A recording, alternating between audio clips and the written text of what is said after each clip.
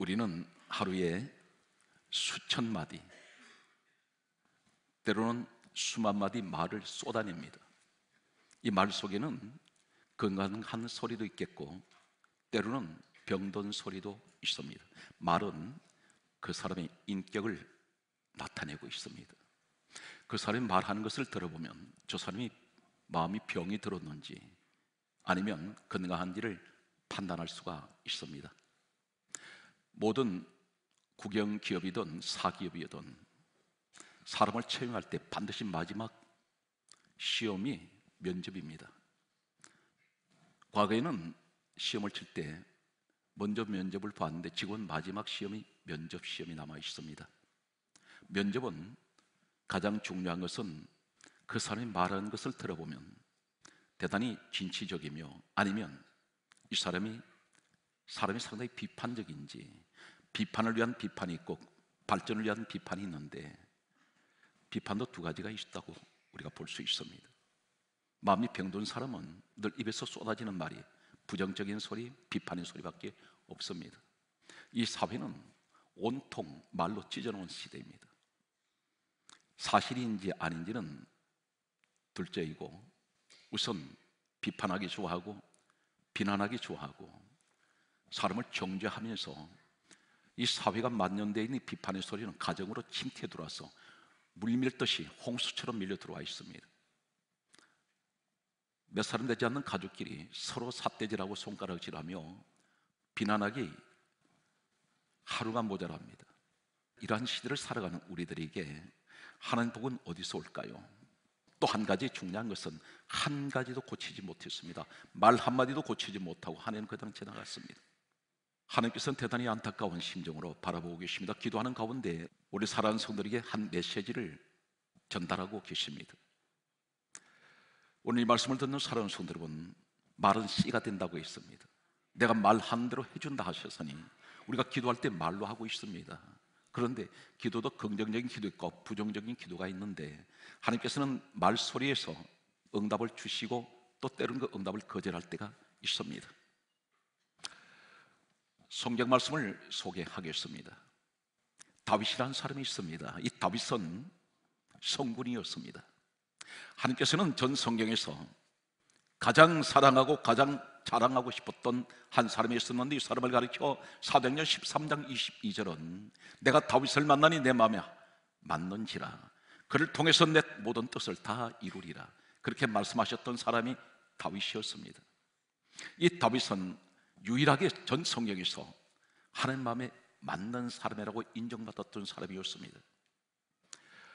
이 다윗에게는 여러 부인들이 있었습니다. 그리고 이 다윗에게는 많은 아들들을 두게 됩니다. 그 가운데에서 유난히 사랑하는 아들이 한 사람이 있었습니다. 그 아들은 압살롬이라는 아들이었습니다.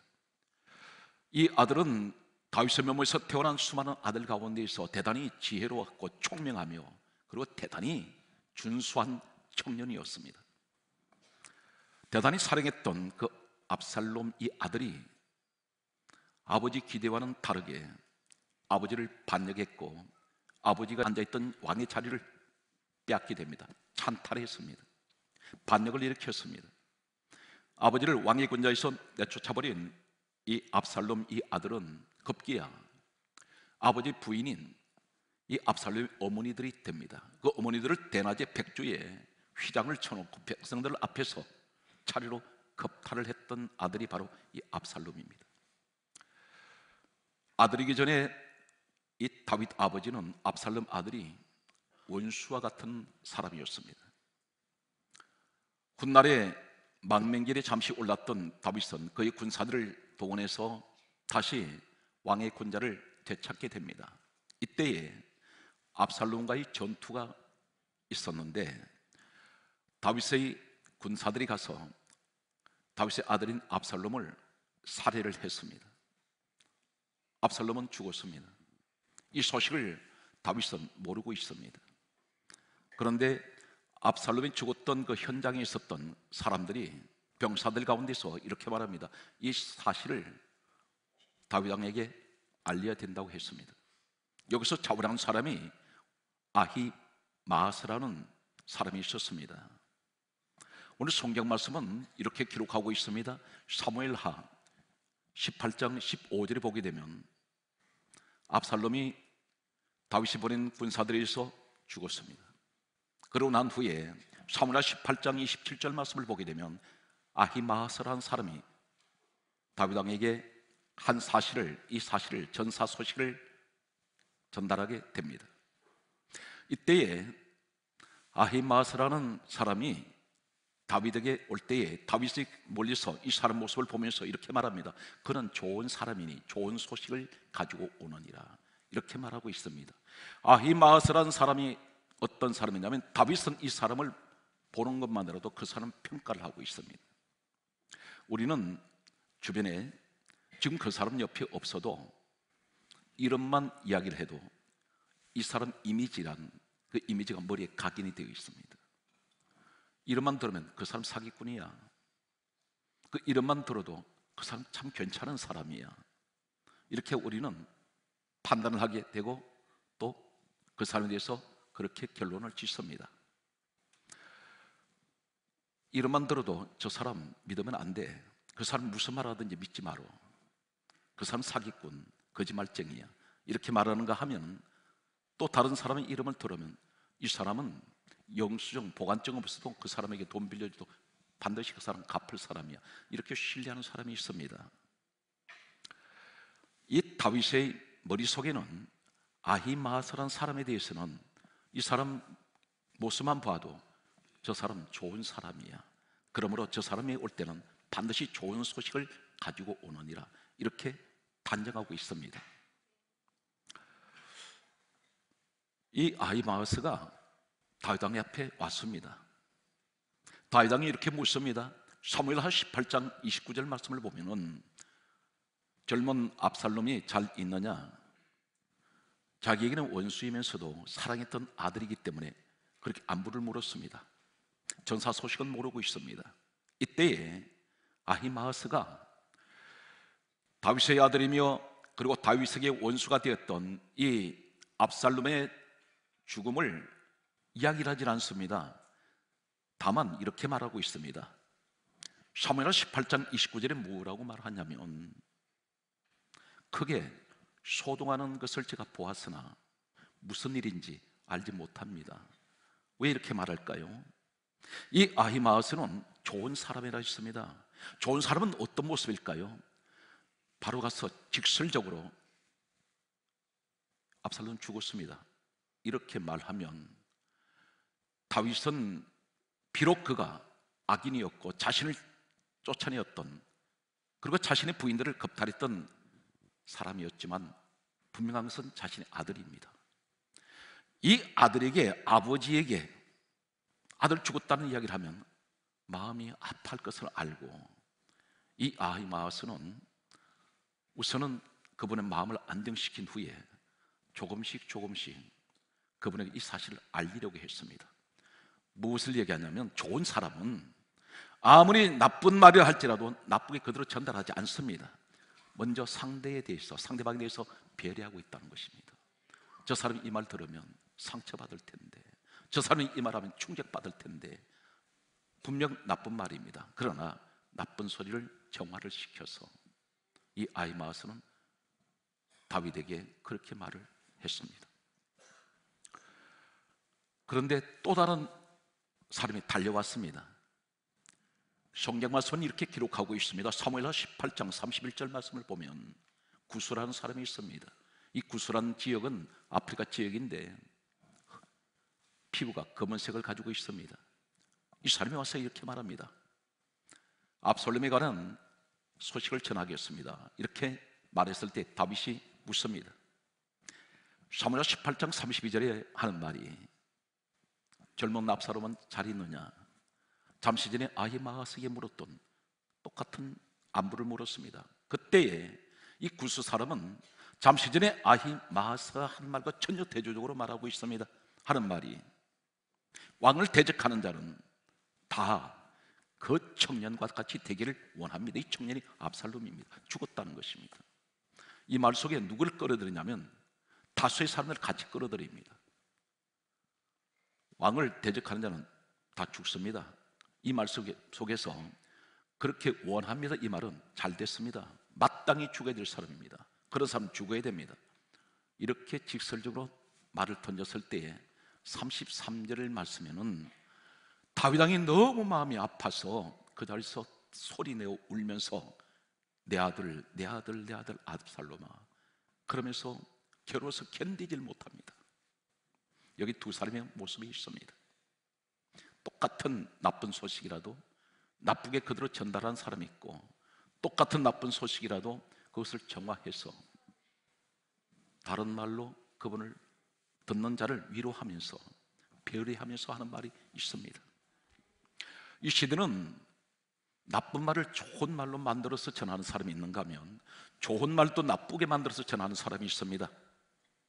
저는 지난 한 해 동안에 교회가 좋아서 찾아왔다가 떠나간 사람들이 있습니다. 어느 날 그 사람들을 우리 보이지 않습니다. 그분을 어디 갔는가 찾아왔더니 같은 성도끼리 상처를 주어가지고 이것은 그 사람들한테 마음에 심한 상처를 가지게 되었고 그 사람이 보면 저는 무서워요. 그 사람 만나면 부정적인 소리만 해요. 자꾸 비판을 합니다. 경제를 합니다. 그런 얘기를 듣고 자기 교회를 못 나가겠습니다. 이야기를 때 상당히 마음이 아픕니다. 한 영혼이 천하보다 귀하다고 하신 우리 주님의 말씀 앞에 또 한 영혼을 잃어버렸다는 생각에 자책감을 느낄 때가 한두 번이 아닙니다. 악한 아들 죽었다고 목을 놓아 우는 다윗의 심정, 이 아버지 심정은 우리 하나님 아버지는 어떠하셨겠습니까?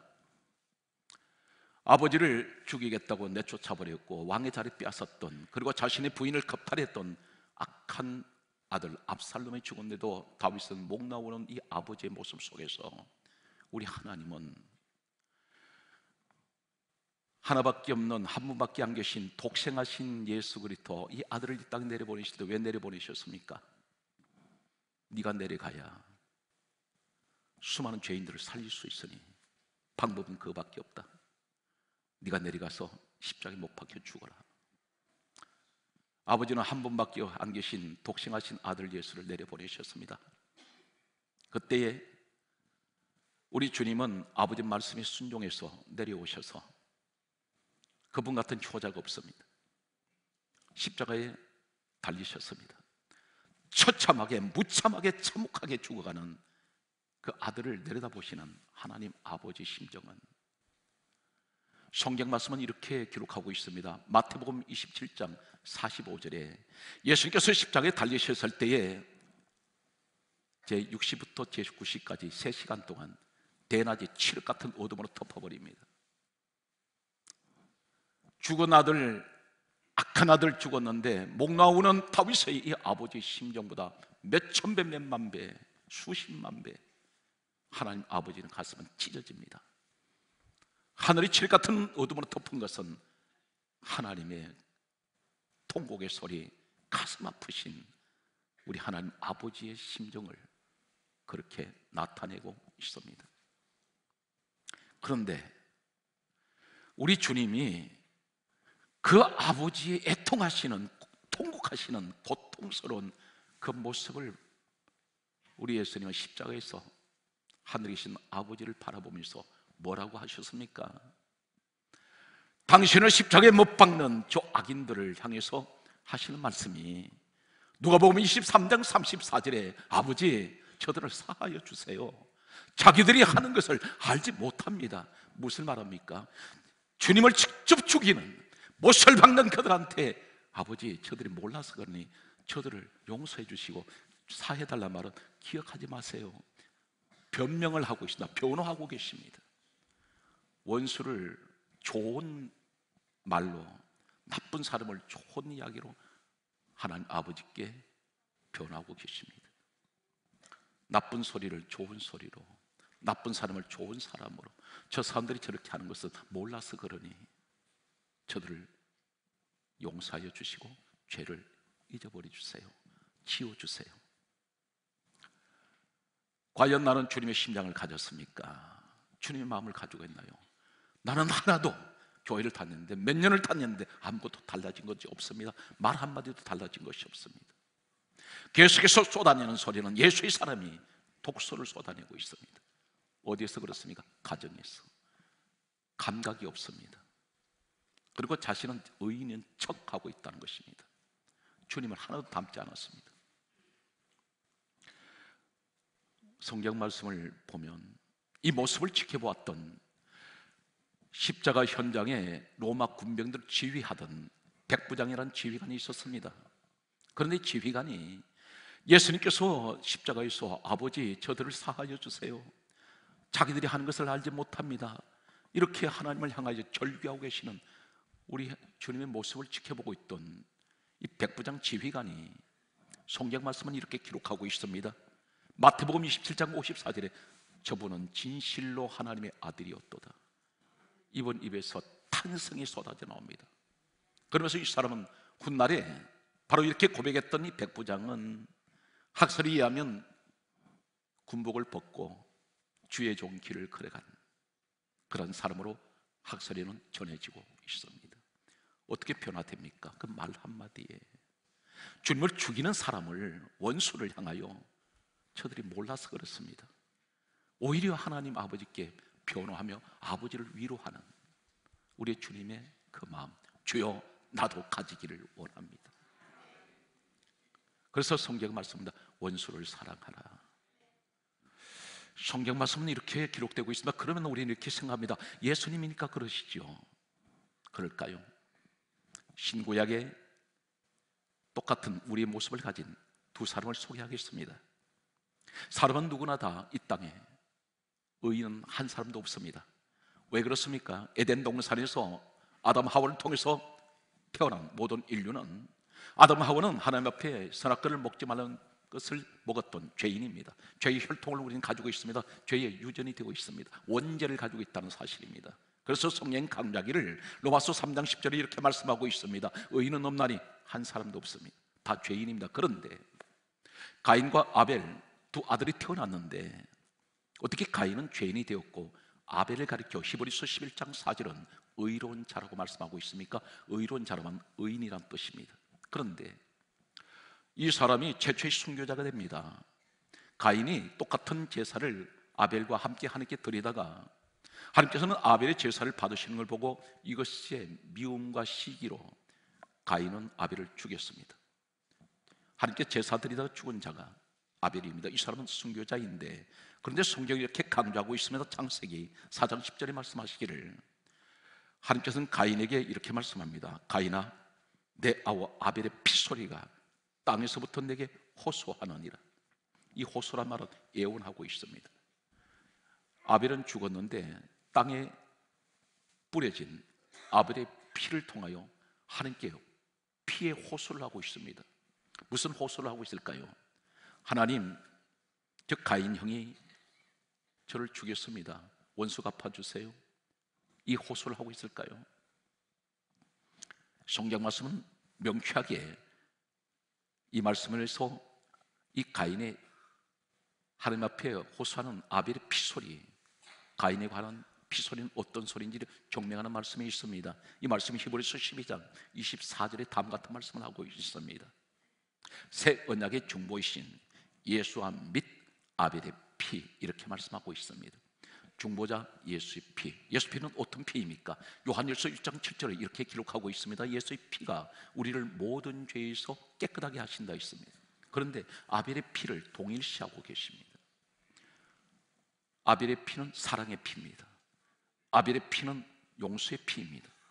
땅에서부터 아벨의 피 소리가 내게 호소하느니라. 이 말씀이 무엇을 말씀하냐면 아벨은 죽으면서 땅에서 자신의 피로 호소하는 것은 하나님 가인의 죄를 용서해 주세요.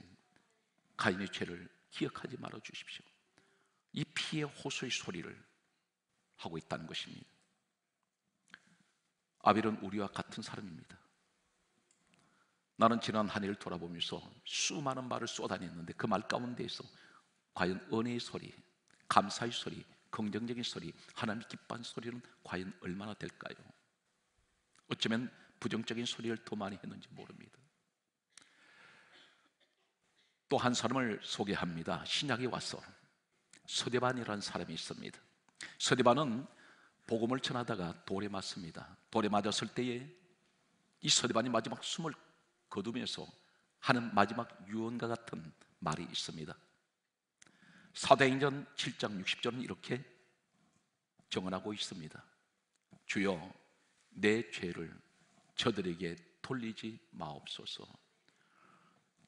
예수님 그리고 아벨 서디반 모습 속의 공통점이 무엇입니까?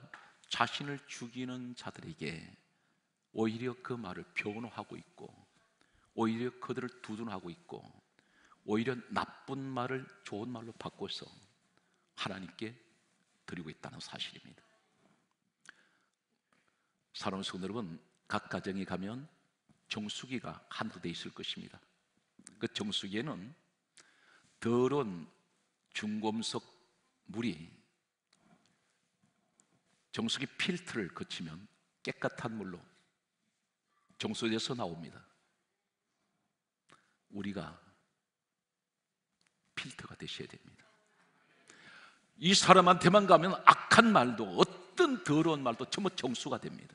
정화가 되어서 그 사람 입에서 나오는 소리는 전부가 깨끗한 소리. 말이 바꿔진다는 사실입니다. 그런 사람이 내 주변에 있다면 대단히 행복한 사람입니다. 이 사회가 이러한 분들만 있다면 한국 사회는 건강해질 것입니다. 오늘 성경 말씀에 보게 되면 예수님께서 이렇게 말씀합니다. 마귀가 하는 행동에 관해서 마귀의 속성을 이렇게 말씀하고 있습니다. 요한복음 10장 10절에 보면 이렇게 기록되어 있습니다. 도둑이 오는 것은 도둑질하고 그리고 죽이고 멸망시키는 것뿐이요. 사탄 마귀는 오면은 사람을 도둑질하고 무엇을 도둑질할까요? 우리 물건을 도둑질할까요? 우리는 기껏 생각한다는 것이 마귀가 오면 내 물질을 도둑질해 간다. 아닙니다. 전혀 그런 것이 아니고 내 속성을 얘기하고 있습니다. 도둑질하고 죽이고 멸망시키는 것밖에 없다. 그렇게 말씀하시면서 예수님께서 말씀하시기를 내가 온 것은 양에게 생명을 얻게 하고 풍성하게 해주기 위해서 오셨다고 말씀합니다. 우리 예수님 오시면 생명을 주세요. 마귀 오는 것은 사망을 가져오는데 그런데 하시는 말씀이 이 사단 마귀가 사람이 생각을 지배하고 있다는 것입니다. 어떻게 지배하고 있을까요? 요한복음 13장 2절에 보게 되면 마귀가 가른 유다에게 예수를 팔려는 생각을 넣었습니다. 이 가른 유다의 마음을 누가 생각을 지배하느냐면 마귀가 지배한다는 것입니다. 그래서 예수님을 팔게 됩니다. 우리 마음 속에 이 도둑인 마귀가 들어오면 무엇을 빼앗아가냐면 내 마음속에 사랑을 도둑질해 갑니다. 은혜도 도둑질해 갑니다. 좋은 것은 도둑질하고 나쁜 것을 가지고 들어온다는 것입니다. 악한 생각, 쉬게 하는 생각, 질투하는 생각, 그리고 늘 사람을 갖다가 엄해하려고 하는 비판적인 생각만 잔뜩 집어넣습니다. 이 사탄막의 정체를 좀 더 노골적으로 밝히고 있는 요한계시록이 있습니다. 요한계시록 12장 10절에 보면 이렇게 기록되어 있습니다. 이 사탄마귀는 어떤 행동을 하냐면 형제들을 참수를 한다고 했습니다. 참소를 하는데 이 참소 말이 어떤 뜻이냐면 헐떠들 참, 아를 소를 말합니다. 다시 말해서 늘 비판적이고 사람을 헐떡히 좋아하고 사람을 말로 죽입니다. 그런데 하나님 앞에서 밤낮 참소하던 자가 쫓겨났고 이렇게 말씀하고 있습니다. 밤낮 참소한다는 말이 무슨 말입니까? 이런 참소형을 받은 사람은 밤낮 이 사람 입에서 나오는 소리는 늘 비판하는 소리, 정죄하는 소리, 헐뜯는 소리, 이런 소리만 계속해서 쏟아낸다는 것입니다. 이 귀신의 영이 있는 사람이 있습니다. 입에 귀신 영이 있는데 성경 말씀은 이렇게 기록하고 있습니다. 요한계시록 16장 10절에 보면 개구리 같은 새 더러운 영이 있는데 용의 입, 짐승의 입, 그리고 거짓 선자 입에서 더러운 영이 나오는데 이것을 가리켜서 계시록 16장 14절은 귀신의 영이라 이렇게 말씀하고 있습니다. 우리는 우리 자신을 무슨 영이 역사하는지 모르고 있습니다. 그런데 그게 누군가가 어떤 영이 조종을 하는데 내 입에서 남을 죽이는 소리하고 비판하는 소리하고 남을 맨날 헐떡고 부정적인 소리를 쏟아낼 때 이것이 귀신의 영이 입에서 나오는 것이라는 것입니다. 성경 말씀 그러면 우리는 어떤 사람입니까? 사도행전 2장 4절에 보면 성령 충만을 입으면 가장 먼저 나타나는 현상이 있습니다. 그 현상이 어떤 것이냐면 입에서 다른 언어로 말하기를 시작하니라 말이 바꿔져 버린다는 겁니다. 그래서 성령을 받았는지 안 받았는지 저 사람은 성령 충만한지 아닌지는 어디서 그 열매를 알 수 있느냐면 입술에 열매가 있다는 것입니다. 바로 이 입술의 열매가 성령의 열매입니다. 그것이 어디 있습니까? 갈라디아 5장 22절에서 23절에 말씀하시기를 아홉 가지를 말씀합니다. 내 입에서 나오는 소리가 사랑, 희락, 화평, 오래 참음, 자비, 양선, 충성, 온유, 절제의 소리가 나온다는 것입니다. 가장 먼저 나오는 소리가 사랑의 소리입니다. 이 소리는 반드시 입술에 열매가 있습니다. 그래서 성령이 임하면 내 인격 변화가 일어나는데 성령의 역사는 두 가지가 있습니다. 우리는 성령이 임하면 능력 나타나는 것만 이야기를 합니다. 한국 교회에서 가장 성령의 역사를 강조하는 것이 뭐냐면 외적인 성령의 역사만 얘기를 하는데 그렇지가 않습니다. 외적인 성령의 역사는 터지고 깨지고 부서지는 이런 파워를 말하는데 그것보다 내 속에서 역사하는 dynamics한 이런 성령 역사가 있다는 것입니다. 이것이 인격 변화입니다. 어떻게 변화될까요? 하루아침에 못 고쳐집니다.